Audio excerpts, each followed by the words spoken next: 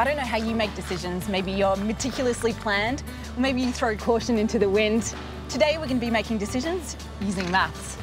Right, guys, we're set. Okay, we've got 17 beaches. We're trying to find the perfect wave. One condition, no phones, no surf reports, only maths. This is all about increasing your chances of making the best decision. Whether that's picking a flat, finding a partner, or choosing a beach.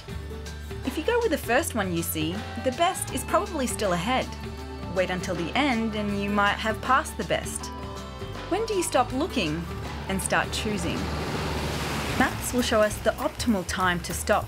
For us, it'll mean looking at the first six beaches. Just looking. That's looking nice. Looks pretty tiny, actually. Like out of 10, what do you reckon? I'll go six. A six? So let's say this is the Northern Beaches. And just check this one. We move on. Yeah. The maths only really works if we don't backtrack too. So once we've rejected a beach, we move on. We're testing the water so we can make an informed choice. This is probably the best beach we've seen Yeah. so far, I Yeah. think. There's waves. Yeah, but we can't go because this is just our observation Oh, beach. really? Anyway, right, back to the car. Let's, Let's go. do it. Oh, There's a mathematical way that helps us solve this kind of problem, and it's called optimal stopping. So for the first 37% of the beaches, which is six beaches in our case, we just observe.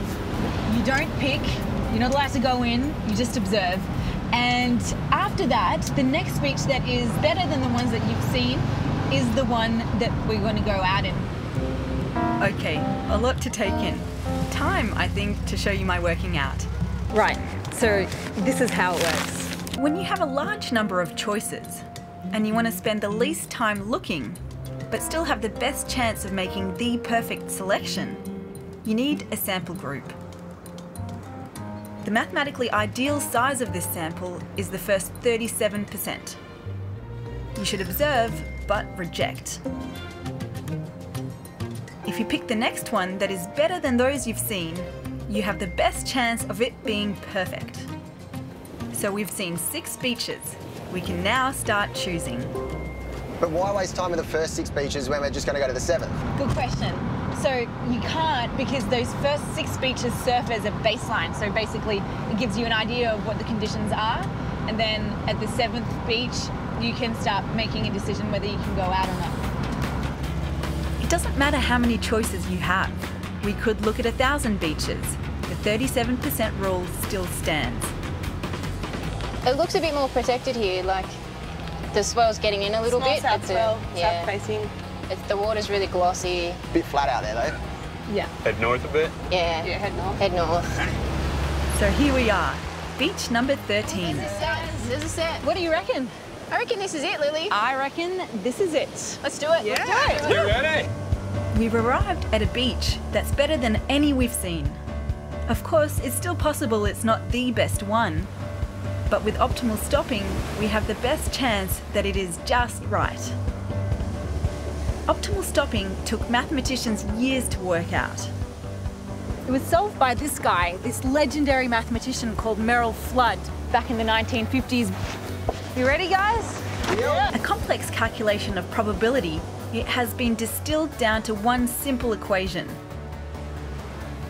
For the maths minded, it's 1 over the mathematical constant e, which equals 0.368. So that's almost 37%.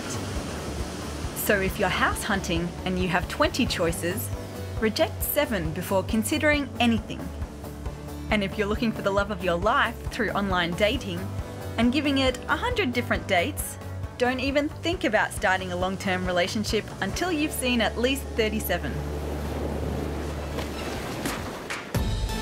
We make a good team, maths nuts.